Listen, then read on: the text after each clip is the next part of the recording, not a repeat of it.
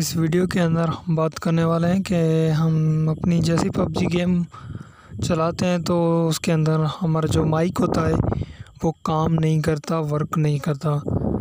तो देखें, इसका रीज़न ये भी हो सकता है कि कुछ मोबाइल आप देखें ना, जैसे भी अपनी गेम इंस्टॉल करते हैं अपनी फ़ोन के अंदर, कुछ मोबाइल ऐसे होते हैं कि ऑटो जो है परमिशन दे देते हैं। और कुछ मोबाइल ऐसे होते हैं जिसके अंदर हमें जो है परमिशन देनी पड़ती है।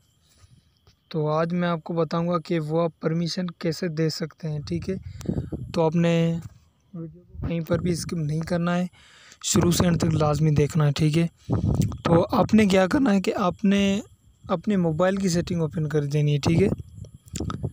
सेटिंग ओपन करने के बाद जो है आपने अपने मोबाइल के अंदर एप्स मैनेजर के अंदर चले जाना है, ठीक है? एप्स मैनेजर के अंदर।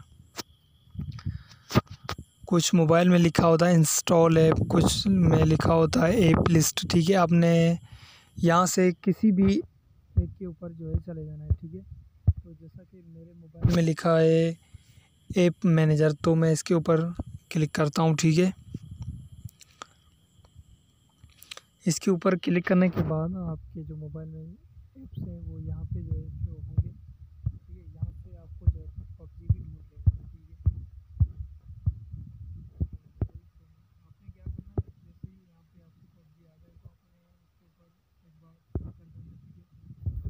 पे देखें, आप इसके ऊपर जैसे ही क्लिक करेंगे, आपके सामने जो है कुछ तरह का इंटरफेस आ जाएगा। यहाँ पे लिखा है storage data usage notification permissions open by default ठीक है, आपने किसके ऊपर भी नहीं क्लिक करना, आपने सिंपली परमिशंस के ऊपर क्लिक कर देना है, ठीक है, इसके ऊपर।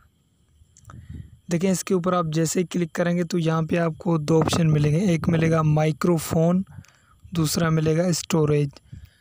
तो आपने माइक्रोफोन को जो है अलाउ कर देना है इस तरह, ठीक है।